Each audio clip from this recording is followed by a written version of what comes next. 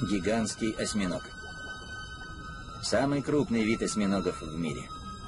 Бывает, что эти существа весят более 250 килограммов. А размах их щупалец равен 9 метрам. Нырять там с аквалангом одно удовольствие. Особенно зимой, когда вода совсем прозрачная. Одним из самых ценных животных из тех, что мы хотели увидеть, был гигантский осьминог. Для работы в этих незнакомых водах Дэнни объединяется с опытным ныряльщиком Дагом Пембертоном. Наше погружение подходило к концу, мы были на глубине где-то 24 метра, воздух заканчивался. Я был занят съемкой осьминога на морском дне, потом вдруг обернулся и увидел Дага с осьминогом на лице.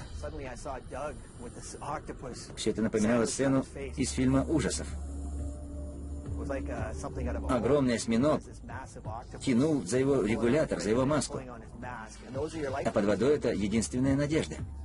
На глубине в 24 метра под водой воздуха почти нет, а он ведет практически безнадежную борьбу, чтобы не потерять оборудование, которое не дает ему погибнуть. Настоящий кошмар.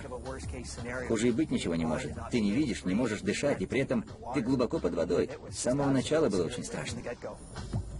Дага схватила железной хваткой существо, способное уволочь добычу весом до 300 килограммов. Диаметр этого существа был где-то метр восемьдесят, два сорок. Оно могло запросто целиком обернуться вокруг Дага. Думаю, все началось просто из любопытства, а потом ситуация накалилась и быстро. Осьминоги изучают добычу с помощью прикосновений.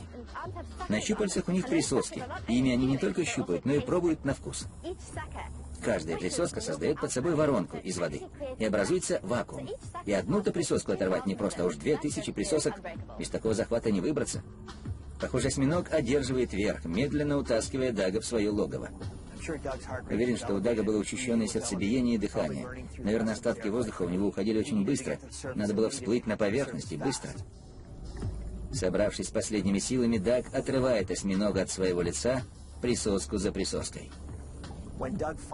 Даг стащил себя последние щупальцы, я почувствовал такое облегчение. Я 25 лет профессионально занимаюсь съемкой, но такого не видел ни разу. Подобная агрессия со стороны гигантского осьминога – чрезвычайно редкое явление. Раньше мы такого не видели. Поразительно, насколько это умные и сильные существа. Такие притягательные. Я проникся к ним еще большим уважением.